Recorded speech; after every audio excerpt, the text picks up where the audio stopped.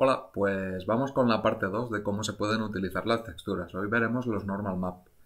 Básicamente, un normal map se trata de modificar cómo incide la luz sobre el objeto 3D, haciendo así que parezca a nuestros ojos que el objeto tiene relieve, pero en realidad es mentira, no hay relieve, es una imagen plana. Eh, ahora veremos el ejemplo de la textura del otro día del cubo con textura.